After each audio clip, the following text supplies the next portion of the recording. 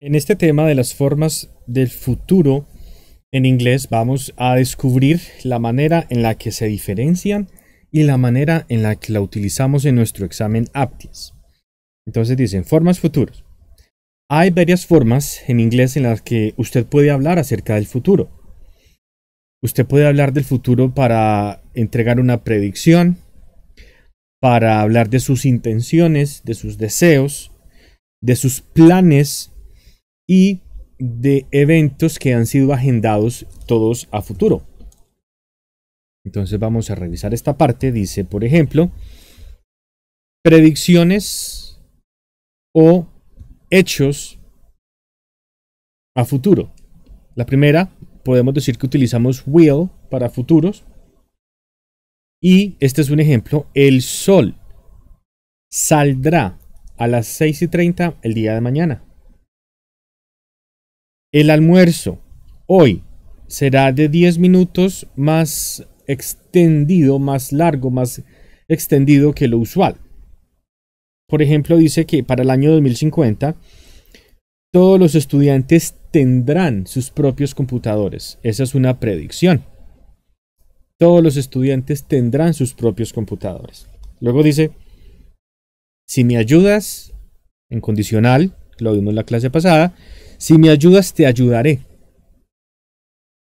Ahora dice, ¿piensas que ella vendrá pronto? ¿Es esa tu predicción, tu opinión? Ahora dice, usted no pasará el examen si no trabaja más fuerte, más arduo, otra forma condicional. Luego dice, sé que mis papás no me dejarán ir a la fiesta. Es mi predicción, los conozco, sé que no me dejarán ir a la fiesta. La siguiente, ¿nevará en Navidad? Es una pregunta basada en una predicción. Una persona te podrá decir sí, otra persona te podrá decir no. Y luego dice, sé que ella está enferma, pero ¿volverá a la escuela mañana? Es mi pregunta. Entonces, para esas formas en futuro se utiliza el verbo will, la expresión will, el auxiliar will, el modal will. Luego tenemos otra, entonces tenemos will y tenemos be going to. Entonces, este es el verbo to be, entonces queda I am going to, you are going to, he is going to, she is going to, y así con los demás. ¿Cómo se utiliza? Se utiliza para hablar acerca de la intención. Una intención es un plan, un plan que ya hizo, que ya planeó desde el pasado, pero que me lo está diciendo en este momento.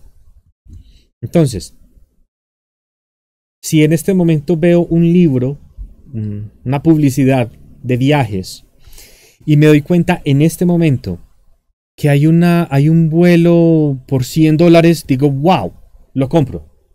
Pero eso lo, lo decidí en este momento. Entonces por eso se dice así.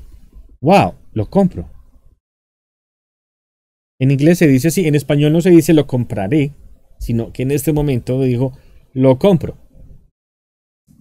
Pero si ya había planeado este viaje, ya lo había y ya había ahorrado, por ejemplo, aunque valga 200 dólares el tiquete, igual ya lo había planeado, entonces ahí utilizo esta. I am going to buy it. Y en ese caso, es porque ya había hecho un plan, un ahorro y ya tenía el dinero. Mientras que en la primera oración lo acabo de ver, lo acabo de comprender y lo acabo de decidir. Esa es la única diferencia. Por ejemplo, Vamos a comprar un carro el próximo mes. Ya lo habíamos planeado, solo que lo estamos mencionando en este momento que vamos a hacer algo el próximo mes. Por ejemplo, voy a trabajar en un banco cuando salga de la escuela. Entonces ya es un plan, no es una sorpresa, es un plan organizado. Dice, en el próximo año voy a dejar de comer comida chatarra. Pues un plan que he hecho para el próximo año.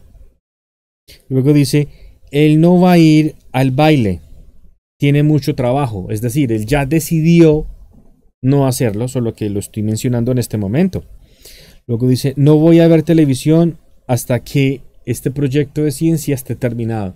Es mi plan, es mi resolución, pero ya la tomé hace unos días o minutos u horas, solo que la estoy diciendo en este momento.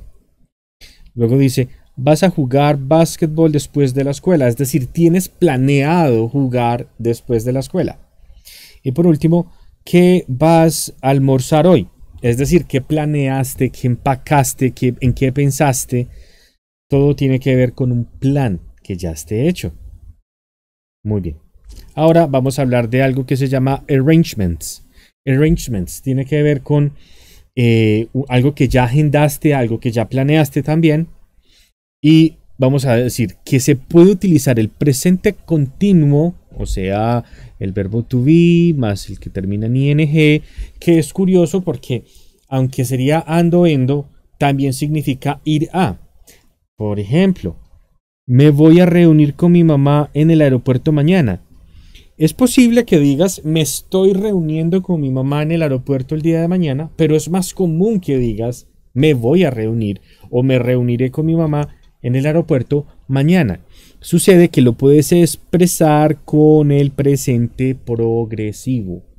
Si yo traduzco esta oración al español sería me estoy reuniendo, pero como es mañana, me reuniré en español. En inglés sí se puede dejar de esa manera.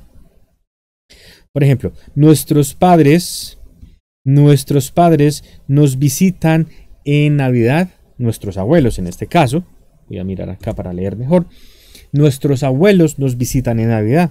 Lo siento, no me puedo quedar hasta tarde en la escuela. Mañana, ah, juego tenis con esta persona. Voy a jugar tenis con esta persona. Eso quiere decir que es un plan que ya he hecho, que también lo puedo expresar entonces en presente progresivo. Luego dice, eh, mi hermana va a ir al dentista mañana. Este is going to es de nuevo presente progresivo.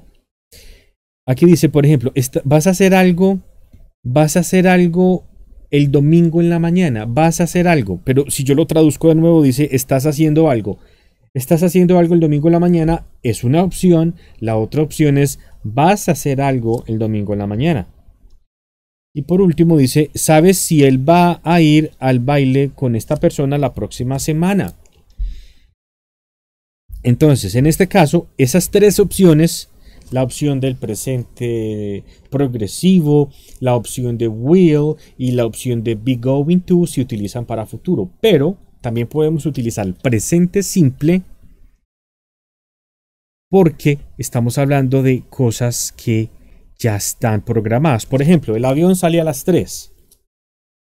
Yo no digo el avión saldrá a las 3 porque ya está planeado en una agenda. Digo, el avión sale a las 3 y llega a las 5. No son las 3 y no son las 5. Solo que el avión sale a las 3 y llega a las 5. Eso es el plan.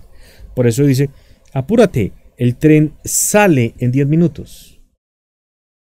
En inglés se debe decir de esa manera. Es posible que en español dices el tren saldrá en 10 minutos. En inglés debes utilizar el presente simple porque ya es algo fijo, en una especie de horario, una especie de agenda. Por ejemplo, me voy de Frankfurt a las 5 de la mañana y llego a Nueva York al mediodía del siguiente día.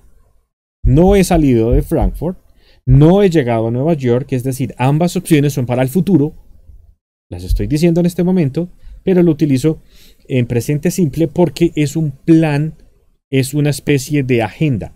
Y al ser de, ese tipo, agendas, planes agendados, eh, estructurados, escritos, es porque eh, esa es la razón por la que debes hacerlo en presente simple.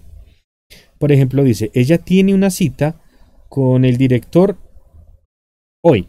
O sea que al ser hoy, todavía no está en la cita, es al futuro, pero se dice en presente simple porque ya está agendada. Dice, no, necesita, no necesitamos correr. El tren no parte, no se va, no parte en los próximos 30 minutos. No se ha ido el tren, el tren todavía está ahí. Se irá en 30 minutos. Pero en inglés utilizamos el presente simple porque ya es actividad, una actividad agendada. Aquí, por ejemplo, dice, ¿cuándo empieza la próxima reunión?